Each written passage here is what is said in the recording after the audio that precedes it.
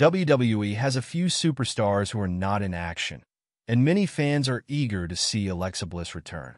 She took off from in-ring competition after she announced her pregnancy with her daughter, Hendrix, and that thrust Ryan Cabrera and Bliss into parenthood.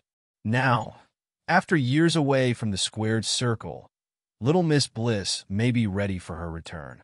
After nearly two years away from the ring, former multi-time WWE Women's Champion Alexa Bliss has sparked speculation about a possible return.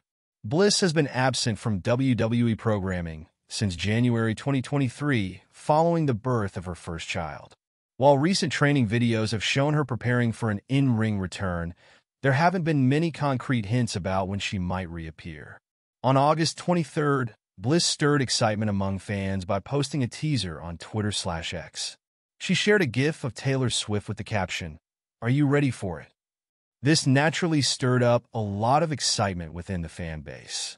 This post led to speculation that Bliss could be making her WWE comeback soon. As of now, it's unclear when the former champion will officially return to WWE programming.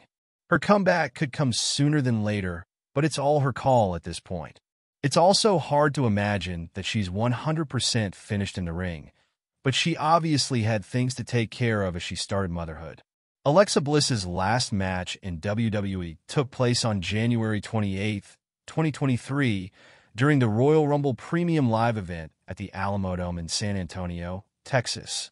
Competing for the WWE Raw Women's title, Bliss faced off against the reigning champion, Bianca Belair. Despite a determined effort, Bliss was ultimately defeated by Belair, who successfully retained her championship. This match marked Bliss's final appearance in WWE before her extended absence from the ring.